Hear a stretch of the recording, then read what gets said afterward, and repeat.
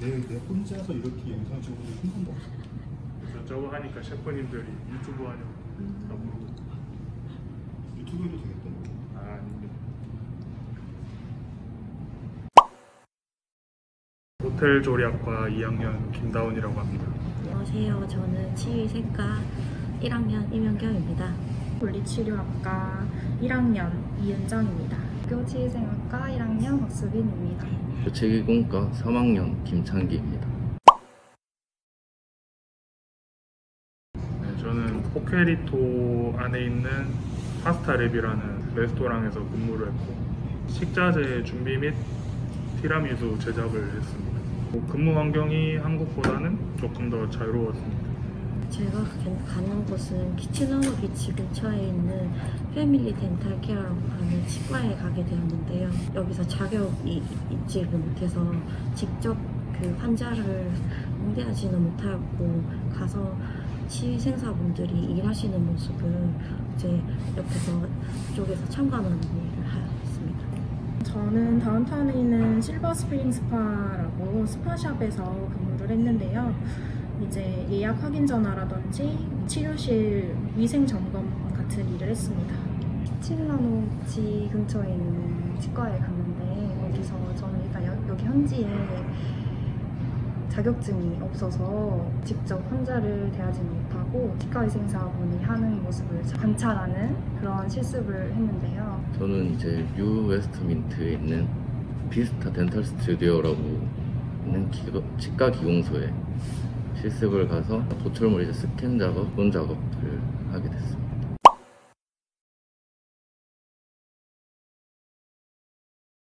제가 캐나다 올 때 비행기에서 기내식 하나 못 주문할 정도 영어를 못했었는데 이제 웬만한 식당이나 카페 가서도 주문은 다 하고 다닐 정도로 그때 please 붙여가지고 최대한 공손하게 됐습니다. 많이 도움됐고요. 캐나다가 이제 다국적 국가이다 보니까 다양한 국적 학생들이랑 대화할 수 있어서 좋았습니다.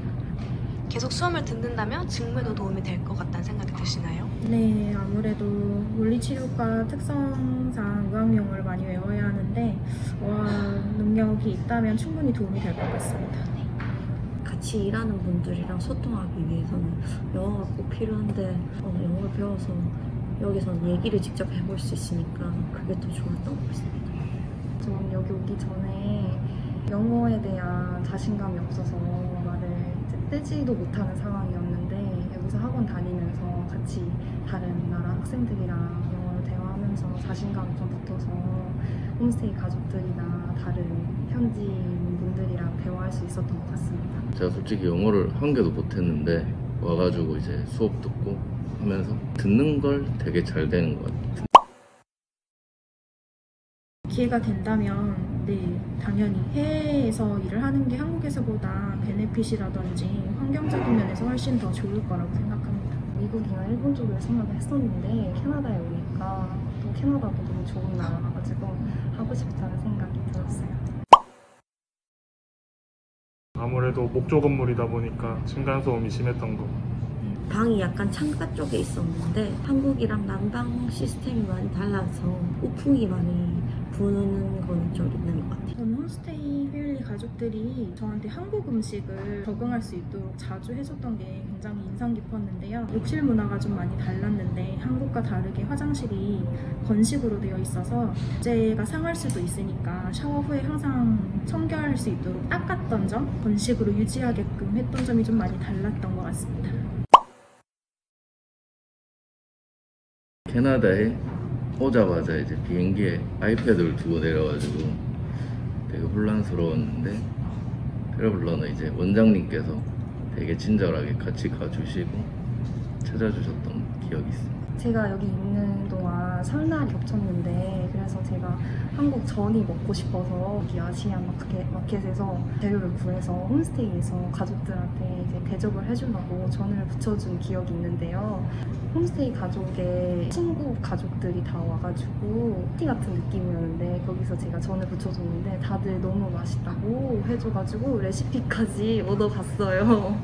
그라우스 마운틴 가가지고 진짜 두껍게 쌓인 눈 위에 뛰어들었던 그게 생각이 나요 참여 또 하고 싶고요. 근데 이제 기간이 2주라 조금은 짧았던 것 같아요. 네, 당연히 참여할 겁니다.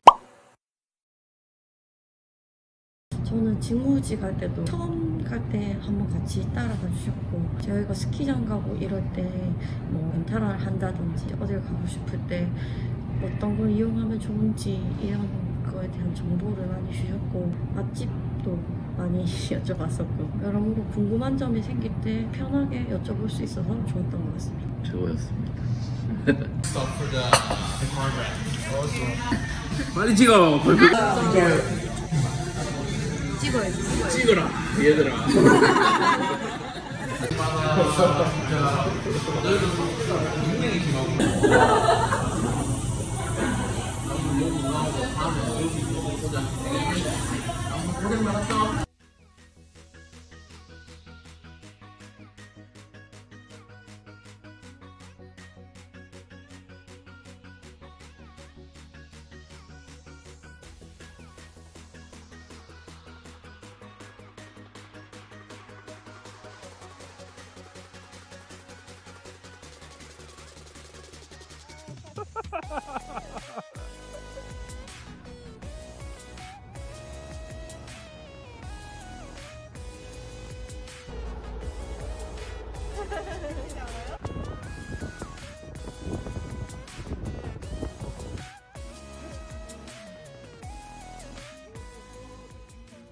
요것도 보고 가요.